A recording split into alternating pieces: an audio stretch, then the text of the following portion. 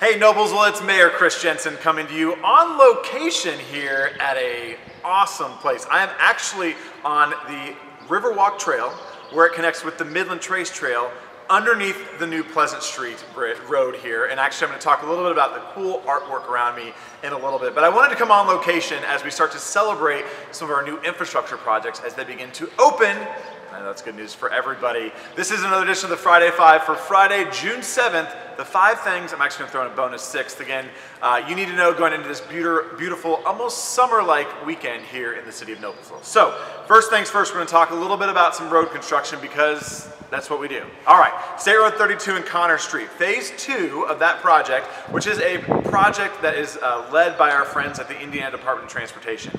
But it's coming to an end here shortly.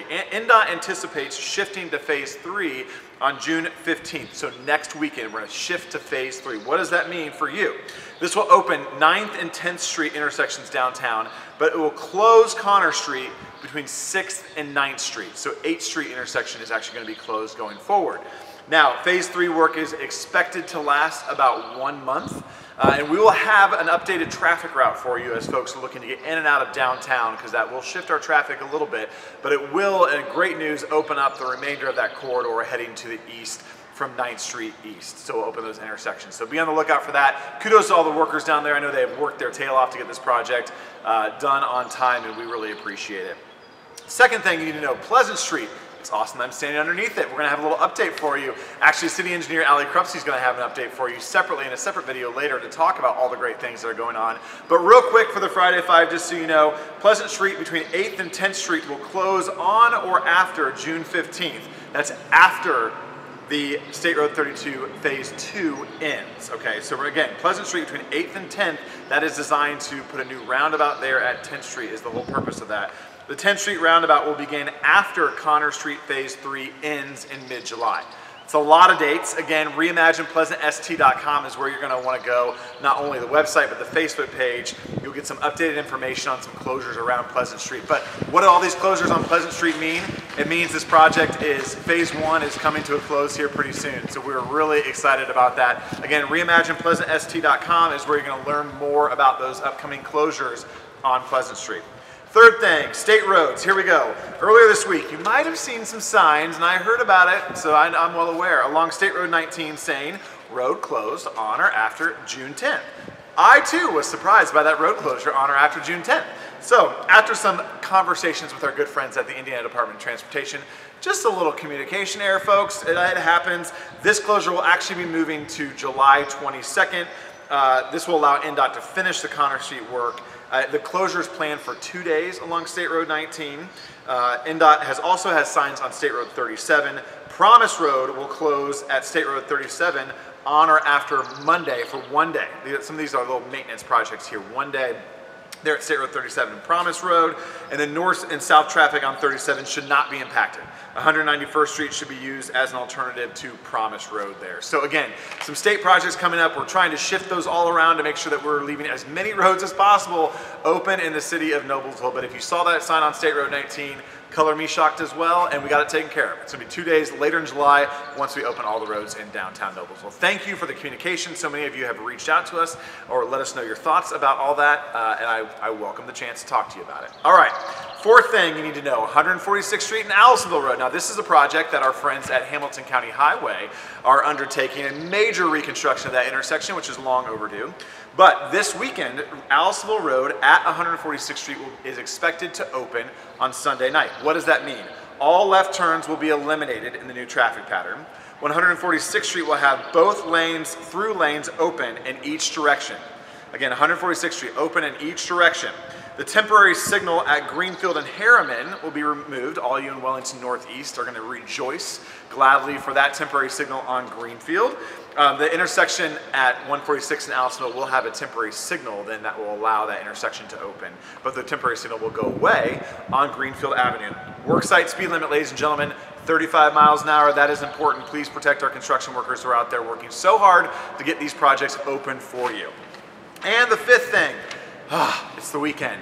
It's Friday. Let's talk about some fun things in downtown Noblesville. Here we go. It's the first Friday, so Main Street, the Front Porch Music Festival takeover, 4 to 8 p.m. in downtown tonight. Noblesville Creates has a photography exhibit opening, uh, and Chic Elbert Velasco and Susan Morgan will showcase tonight from 6 to 9 p.m. Hamilton County's uh, Artists Association, their new exhibit at the Birdie Gallery, which you haven't visited the Birdie Gallery, it's a great place, 6 to 9 p.m. as well tonight. Wafford Theater will begin its weekly classic summer movies at 9.15 tonight. Probably in bed by then, Jim. This week's movie is San Francisco from 1936, so go check it out. Music and all that jazz is from 5 to 7 on the courthouse lawn. Concert at the Commons Series kicks off tomorrow night with the Eagles Project and Eagles Tribute Band from 8 to 10 p.m. at Federal Hill Commons.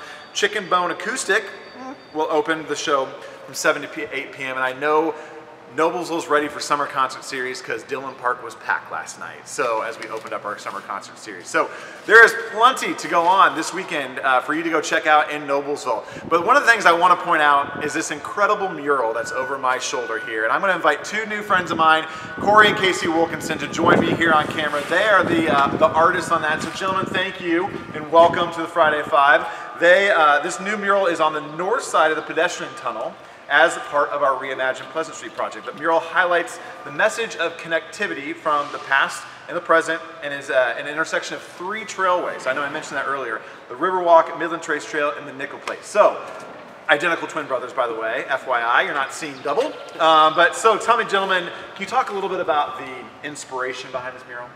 Yeah, the inspiration was supposed to be for um, connectivity, how Noblesville is like a hub for communities how we're all working toward connecting. So it kind of has a narrative of uh, transportation, past and present. So we've got featuring the old Midland Railway, uh, showing the train crossing the old steel double truss bridge, and then moving on to um, multiple kind like uh, the old interurban that used to come yep. through here. But then we're also moving on to trails. So we show bicyclists, uh, pedestrians enjoying trails and parks, and all the way from uh, people tubing down the White River, kayaking, things like that. Well, the perfect place for a mural on connectivity is right here where these three trails come together. Now, you both live in Hamilton County. What does it mean to work on a project like this? You mentioned when we got here, you got to meet a ton of neighbors through this process, people coming over asking what you're doing. What does it mean to you guys personally as artists to work on a project like this? Well, I mean, uh, as right-brained artists, we always love expressing, showing our creativity, showing off, but honestly, we have to be thankful first to a municipality, a city who values artists and values what public art means to the public. So we love that first and foremost. But meeting the neighbors, everyone is so complimentary. Uh, they're excited about it. They, once you all ex uh, experience this mural, you'll see when you come around the trail and the river walk, it, it'll hit you, and it's bold. It's just like those rocks that are falling from the sky, probably. um, well, like I said, it is big and bold, and that's what we really wanted to.